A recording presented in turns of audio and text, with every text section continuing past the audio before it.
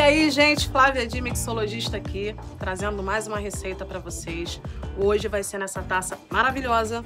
Adivinha o que vem aqui? Isso mesmo, gin.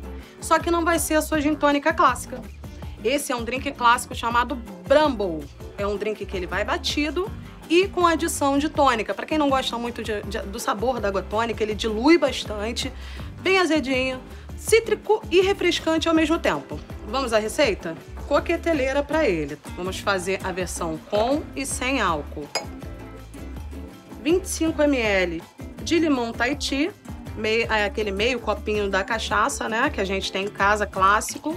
Então metade dele de limão, que é metade do dosador colher bailarina. Se você não tiver uma bailarina, pode ser uma colher normal que você tenha, só que não muito cheia, ela pode ser mais rasa. Mas o ideal é ser duas bailarinas. Açúcar normal. Hortelã para cada drink de 6 a 8 folhas mais ou menos. Pegar o nosso molhozinho de hortelã. E finalizando o alcoólico com gin, uma dose 50 ml, que é o equivalente àquele copinho de cachaça, se você não tiver o dosador. E na nossa versão sem álcool, nós vamos colocar uma dose de água comum ou água de coco. Aqui eu vou colocar água de coco para ficar mais refrescante. Por que, que é legal a gente colocar essa dose de água? Para poder dar o volume para depois ter a adição correta da tônica. Se eu não coloco nada, eu teria que botar muita tônica, né? Se a ideia é tirar o excesso do sabor de tônica. Então a gente dá aquela diluída. Vamos colocar gelo. Vamos deixar também a nossa taça gelando enquanto a gente bate o coquetel. Bastante gelo, gente. Até em cima mesmo. Essa taça, ela pede bastante gelo. Vamos lá.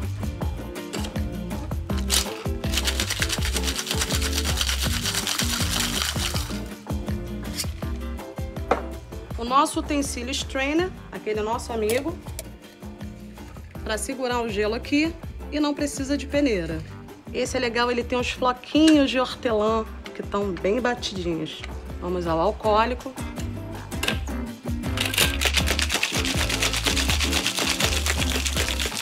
É bom bater bem, gente, para diluir bem o açúcar com o limão e o gin ficar mais suave também. O gelo cria aquela água e dilui bem os componentes. Agora a gente vai completar com tônica, tanto com quanto sem álcool.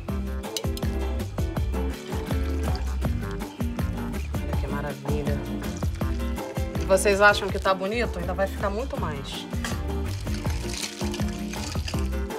Esse aqui particularmente é um dos meus favoritos. E esse drink agora ele tem a parte bem bonita dele, que é o licor de cassis ou xarope de cassis. Como a gente está fazendo a versão com e sem álcool, tanto alcoólica quanto a sem, pode ser o xarope de cassis que vai dar o mesmo sabor. Não precisa comprar um de cada, ter um de cada para fazer o drink alcoólico. Sem misturar tudo, a gente chega aqui embaixo para fazer o degradê chegar só na metade do drink. E ele fica de duas cores.